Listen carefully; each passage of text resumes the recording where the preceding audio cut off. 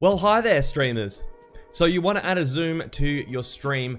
Today I'm going to show you how to do that through OBS and also add it to your Elgato Stream Deck so that you can just, you know, dabble on the buttons and get those zoom functions happening and make your stream all fancy and stuff. One thing that I will note, guys, if you are using a custom transition, you will need transition override matrix to be able to pull this off. Uh, by default, OBS will put your transition in there and it just won't make it flow. I will do a separate video on that. So this video is going to show you how to set it up as long as you don't have a custom transition in between your scenes. Take note. Okay, so we are over here in OBS. Now, I had to pre-set up a Zoom 1 to have my microphone on there, so for the sake of this recording, so you can actually hear what the hell I'm saying. Um, so what you want to do, guys, is go to your scene, set up a Zoom 1, copy and paste your video camera or your webcam uh, and your, your microphone, because you can't forget your microphone, because you, people won't be able to hear what you're saying. Uh, and then this is it here. So I'm still here, which is great. What I'm going to do is just expand this out over the screen. You're going to get a real nice close-up of my face right now.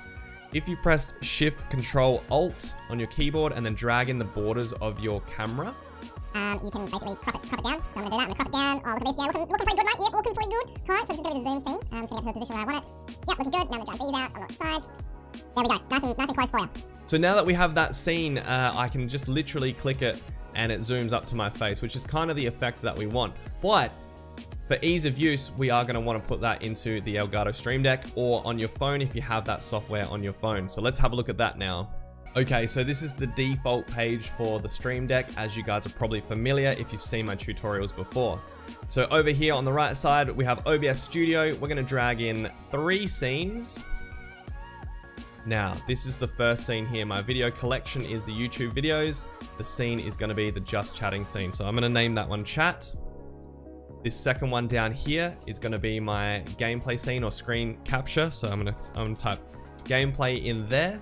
And then the third scene is going to be Zoom 1. So we'll chuck that on there.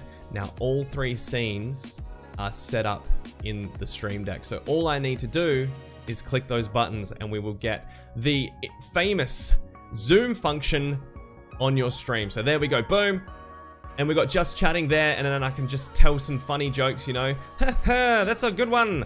Ah, look at you making jokes and so it just works perfectly. And that is literally it, guys. Thank you so much for watching once again, and don't be afraid to hit those buttons. Check out the description and uh, follow me on Twitch and Twitter and, and Instagram and OnlyFans and all that good stuff, guys. I love you, and uh, I will see you next time.